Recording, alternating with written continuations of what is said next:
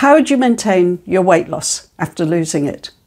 Are you one of those people who've been losing the same pounds or kilos over and over again? You lose them and then put them back on again.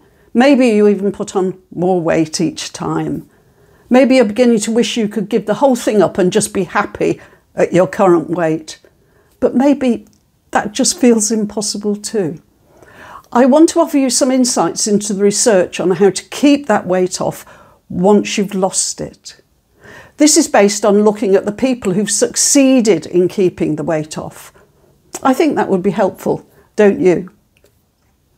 Judy Kruger and colleagues from the Centers for Disease Control in the USA found that self monitoring strategies were important for successful weight loss maintenance. These include weighing yourself regularly, planning meals in advance, tracking fat and calories, exercising 30 or more minutes daily. There are references to all the research that I quote in the video description. The US National Weight Control Registry is a research group that gathers information from people who've successfully lost weight and kept it off. They found that 78% eat breakfast every day, 75% weigh themselves at least once a week, 62% watch less than 10 hours of TV per week, 90% exercise on average about one hour per day. Can I hear you groaning about the idea of doing exercise every day? I'll come back to that later in the video with some suggestions about you, how you can embrace exercise. But right now, I want to look at more of the research. Once again, we've got the idea of weighing yourself at least weekly. I personally prefer to weigh myself every day. I'm looking for a trend, not a variation between two days. If my weight goes up for around four days, I need to tighten things up just a bit for a while. It's easier to address, uh, weight gain when the weight regain is small. That may not work for you. You may get obsessed if you do it every day. But the research does suggest that you need to weigh yourself at least once a week. Obviously, you also need to take action if your weight starts to creep up. Dr. Barbara Ber Berkeley suggests that you set what she calls a screen weight. She, she suggests that that is around 8 pounds or 3.6 kilos higher than your final weight. This would almost certainly be too high for me, but may well work for you. So your screen weight is the weight at which you take immediate action. She also says that some people will need to adjust the screen weight up after a time, as they may find that their initial goal weight was too low than they can re realistically maintain. All researchers seem to agree that the most successful way to keep weight off includes taking regular exercise. Research from the University of Colorado in the USA studied successful weight loss maintainers they define that as the people who maintain a reduced body weight of 30 pounds or more for over a year.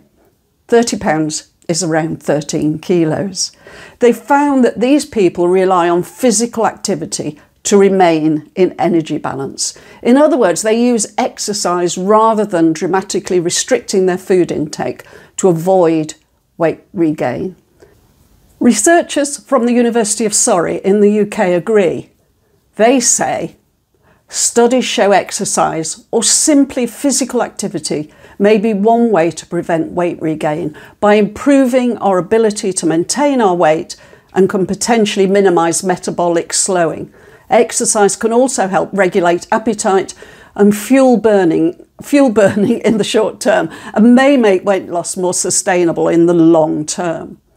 The US Government Centres for Disease Control is more specific and recommends 150 minutes of moderate intensity aerobic activity or 75 minutes of vigorous intensity aerobic activity each week. As a quick rule of thumb, moderate intensity exercise means you can sing but not talk while you do it. Vigorous intensity exercise means you can't sing and you can't talk. I hope you're enjoying this video. Would you do me a favour please and hit the like button? The more likes for the video, the more likely YouTube are to show the video to other people who could really use this information. Thanks a lot.